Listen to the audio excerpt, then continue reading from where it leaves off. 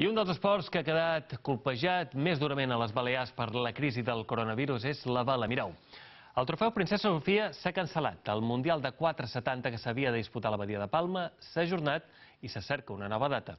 I ara mateix la celebració de la Copa del Rei al mes d'agost és també una incògnita. A principis del mes d'agost tocaria disputar-se l'edició número 39 de la Copa del Rei de Vela. Amb la situació que vivim, l'organització és optimista, però molt prudent. el tiempo parece que, que juega a nuestro favor por, por- porque quedan unos meses, ¿no? Pero bueno, hay ahora mismo una posibilidades de que a lo mejor no se haga. ¿Por qué? Porque no nos dejen hacerlo. Es un evento deportivo que viene mucha gente, pasan entre 2.500 y 3.000 personas todos los días por, por el Club Náutico. El mes de maig serà clau per saber si se celebra la Copa del Rei. Hi ha motius per pensar que la cita anual a la Badia de Palma sigui una realitat.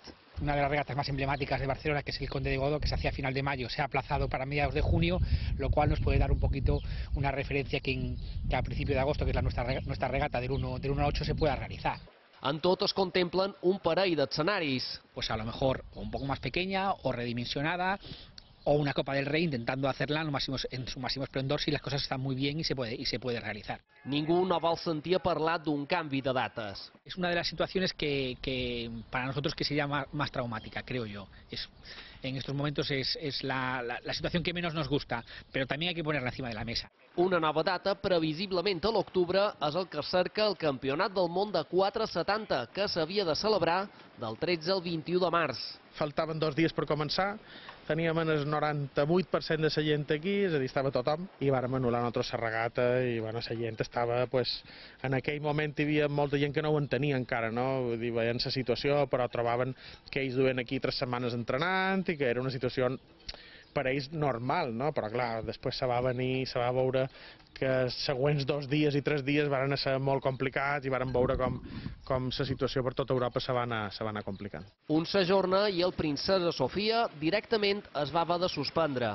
en tot el que suposava, no? perquè més de 60-70% de la gent ja estava aquí, tota la logística que s'havia desplaçat, de gent que ve, imagineu-vos, pues, moure eh, contenedors plens de barcos que venen pues, de Nova Zelanda, de Japó, de, en fi, moltíssima gent que se trobava aquí ja entrenant eh, 15-20 dies abans de la regata, i bueno, és, va ser una decisió difícil, Ha estat especialment traumàtic perquè enguany era any olímpic. te sents recolzant, no? quan la gent te diu escolta, l'any que ve tornarem a estar aquí, no passeu pena hem hagut de tornar, evidentment, totes les inscripcions vull dir, és un palo també econòmic per als tres clubs i per la federació, pues, que haurem d'assumir una sèrie de despeses que no podrem eh, eh, cobrir aquest any i encara pues, s'afegeix més a la situació, no? Una situació que tothom espera que canvi aviat.